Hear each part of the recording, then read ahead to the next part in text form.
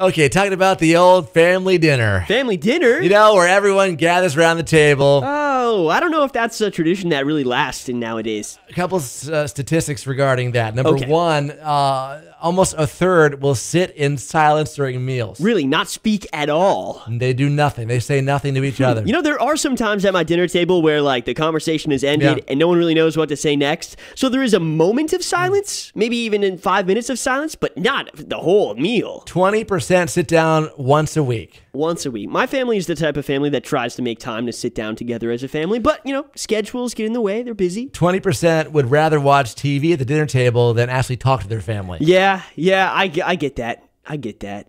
Yeah. I've been there. You know, I've, I've had a meal in front of the television and not said anything to my parents. 44% stare at their smartphone while eating. Yeah. Oh, yeah. I, Do I- you? I, Does I your family struggle. I when you sit down? My family doesn't have rules about not keeping your phone Yeah. at the table, but I know that some families do, and yeah, it becomes a problem sometimes. 44% say that school gossip is the most popular topic of conversation at the mm. dinner table. So, what happened at school today? Who's dating who? Yeah. There's always something going on. That makes sense. That makes sense. 37% say that homework is a popular uh, topic at the dinner Wow. table. I, I- according to this survey, I mean, people must not talk about anything during the summer because there's no school. What do you talk about? No classroom gossip, no homework to talk about? Then you talk about TV shows. 37% say that they talk about TV shows. Okay. Yeah. Yeah. Or probably in your case, living with a lot of other boys, males. sure. It's usually sports, Yeah. football focus, I'm sure. I'll throw in some football stuff. and then mom tries to interact Mom about pretends. it, but Mom says, "Oh yeah, how did Tony Romo play?" And I said, "Mom, just eat your broccoli."